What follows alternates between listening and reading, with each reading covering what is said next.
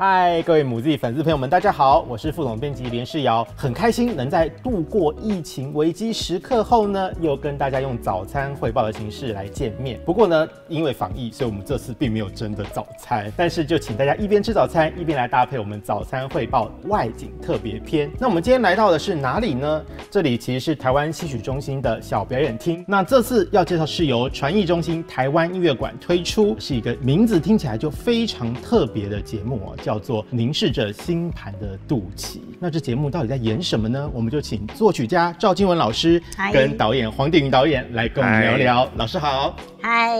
那么我们想先问第一题哦，就是这个节目叫做凝视着星盘的肚脐，它到底是什么意思啊？凝视着星盘的肚脐，我们其实反反复复讨论很多次不同的名字，但星盘这个字其实是最核心的概念。宇宙，还有宇宙。最一开始的时候，其实我自己是在想，为什么我们会去相信星座啊？紫薇啊，这些天体运行跟个体之间的关系，这是一个人类很特殊的某一种状态。我们一直很想把自己跟世界透过某一种方式连接在一起，可是这个连接其实是为什么我们在这里的一个概念，跟时间空间有关。所以把星盘一个很大的东西跟看向自己的这个肚脐放在一起，就形成了某一种对比。它到底是最宏观的还是最微观的？不过，因为这也是一个以音乐为出发点的节目嘛，那我比较好奇，说它是一个音乐剧场吗？还是说它是要怎样去定义这个节目？就常常做这种。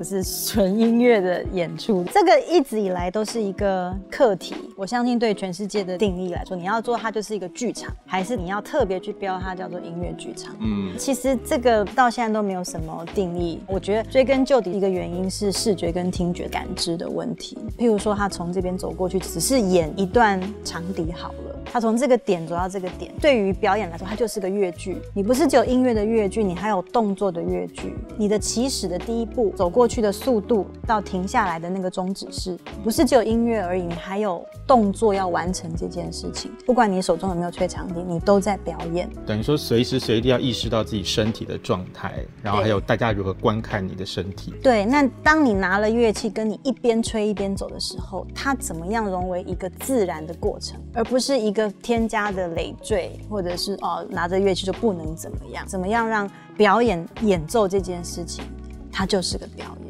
所以说这次其实这些音乐家可以说他是演员，还是说到底要怎么样去讲？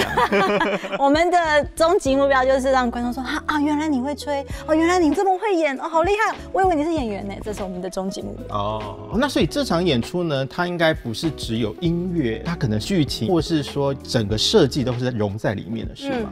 对，在这次的创作中，其实不只有赵老师跟我在一起共同创作，我们同时还找了一个视觉艺术家 Liam Morgan 一起来做整个空间还有视觉的统筹跟创作。他是一个长期待在台湾的加拿大籍创作者，他很擅长使用灯光去雕刻空间。其实，在这三方的创作中，我们是一直很密集的在讨论。跟发展，所以视听剧场是在一起的。在这次演出形式，其实星盘就是人类从人类的角度去看这个宇宙嘛。所以，我们在这次演出里就把剧场里面其实一直都有的标准配备旋转舞台拿出来使用。平常旋转舞台是拿来做幻景用的，但这次我们邀请观众去上到旋转舞台上面。所以，当观众上到旋转舞台上的时候，他可以去不断的品尝这个空间各个不同的角度，它可能产生的多样的叙事。也因为观众他不会只面对单一的面相，所以在这个时候呢，这个空间如何去形塑出来就很重要，因为它会有很多事情同时的发生。Liam 也设计了不同的灯光装置去雕刻这个空间，所以在这个演出的过程中，声音是多轨在进行，这个视觉也是多轨在进行，而 Liam 在透过他的装置去把这个空间勾勒出来。哦。所以可以说很像观众在做一个旋转木马这样子的感觉吗？就是说你可以边转边看到很多事情在你周边发生。这些发生的过程，因为观众字体的旋转，其实会创造一种效果，声音跟视觉不会完全同步，它很像一种对于时间或对记忆的。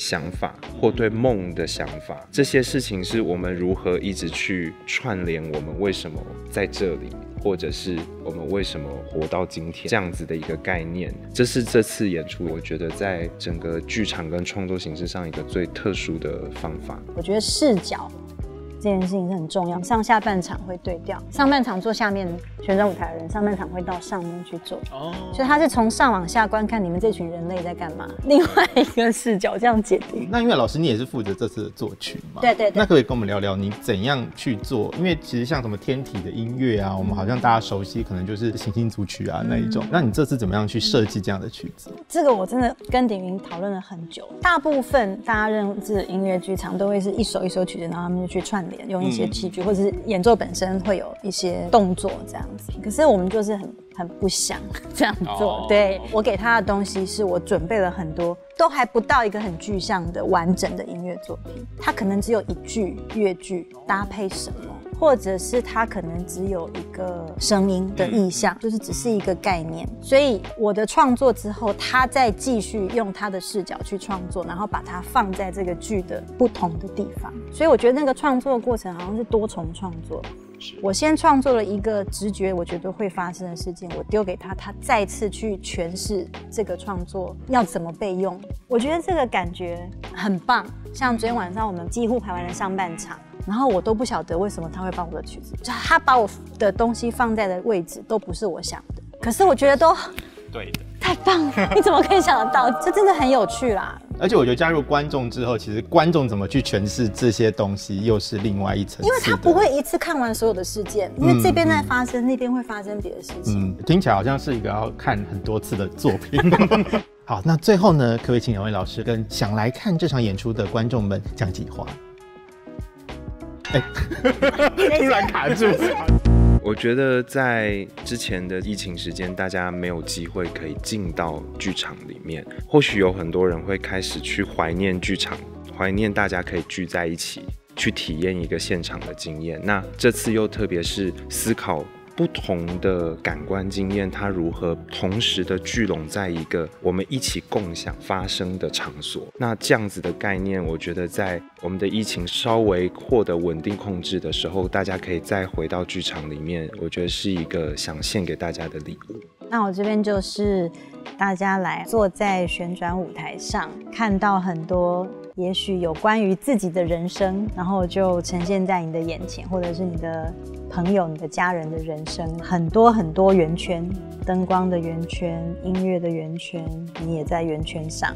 那这其实就是我们生命的循环吧。嗯，好，那就期待大家在九月二十五跟二十六号的时候，一起来到台湾戏曲中心的小表演厅，我们可以一起来凝视着星盘的肚脐。好，那我们母鸡早安汇报，下次再见喽，拜拜，拜拜。好久不见，早餐汇报，大家还喜欢吗？喜欢的话，麻烦帮我按个赞或按订阅，开启小铃铛。有任何意见的话呢，也欢迎在底下留言。那么母鸡早餐汇报，下次再见喽。